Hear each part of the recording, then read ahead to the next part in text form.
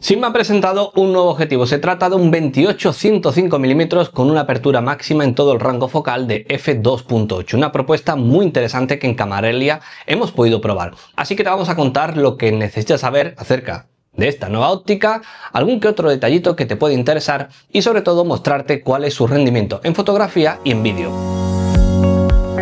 Bueno, esta de aquí es la nueva propuesta de Sigma. Se trata del 28-105 mm con apertura máxima f2.8.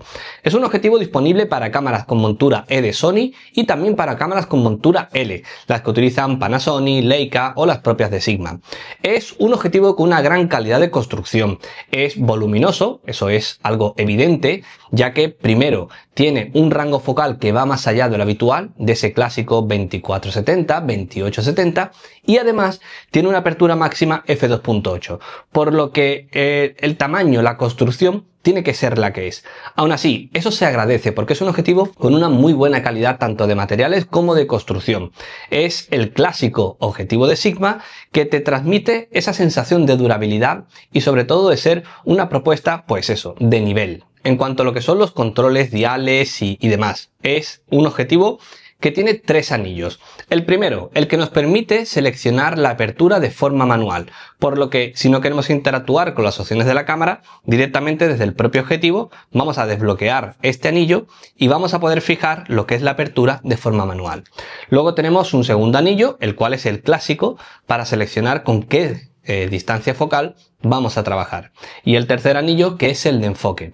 A partir de aquí tenemos algún que otro control para seleccionar si queremos utilizar el sistema de enfoque automático o manual, así como dos botones programables para trabajar con ellos de forma mucho más rápida y ágil, estableciendo el ajuste que queramos desde los menús de nuestra cámara. Bien, una vez visto todo esto, ¿qué es lo que ofrece a nivel de rendimiento? Pues a ver, tenemos un objetivo que es muy versátil, esa es la principal clave y uno de los aspectos que creo que van a ser fundamentales a la hora de apostar por él.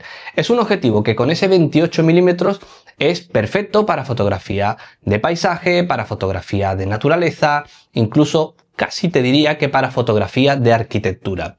Y que luego con esa distancia máxima de hasta 105 milímetros se convierte en un objetivo muy versátil para ese tipo de fotografía más eh, de calle, más eh, habitual que podamos hacer, por ejemplo, en viajes y demás, y también para fotografía de retrato. Y es que lo habitual en muchos zoom es tener una distancia focal, pues eso, entre los 24, 28 hasta los 70 milímetros. Pero no llegamos a esos 85 milímetros que es la distancia que muchos eh, utilizan para el tema de retrato. Pues bien, con este objetivo también tenemos no solamente un zoom muy versátil, sino también un objetivo para retrato que da mucho juego.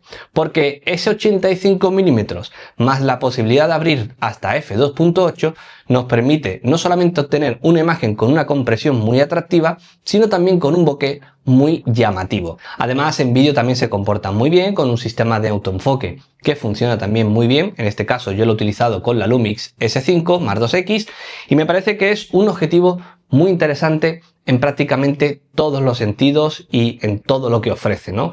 Es una propuesta, bueno, pues a esa, ¿no? Al nivel que nos tiene acostumbrado Sigma, con mucha calidad, con un muy buen rendimiento y de la cual, bueno, pues si le tuviese que buscar algún que otro inconveniente sería pues el precio. No me parece para nada desorbitado los 1.600 euros que cuesta, pero sí que es cierto que bueno, que tal vez para algún que otro usuario, sobre todo los que llevan poco tiempo y no tienen muy claro cuál es la óptica que necesitan, les puede parecer un poquito elevado. Pero créeme que 1.600 euros por todo lo que ofrece este objetivo me parece un precio muy competitivo. Así que si estabas buscando un objetivo versátil en cuanto a rango focal, con buena calidad de imagen, con una buena apertura para poder utilizarlo incluso en situaciones lumínicas complicadas, esta nueva propuesta de Sigma me parece que es muy a tener en cuenta. Te voy a dejar un enlace en la caja de descripción, también en el primer comentario para que le puedas echar un vistazo, para que veas incluso, bueno, que siempre puede que haya algún momento de promoción y demás. Y cualquier cosa que quieras saber, cualquier duda, pues o nos dejas un comentario en este propio vídeo o nos escribes a Camaralia y te ayudamos en lo que necesites.